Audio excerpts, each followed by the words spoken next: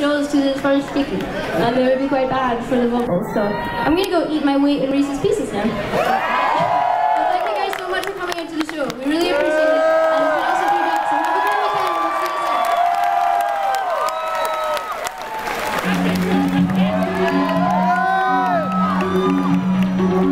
you.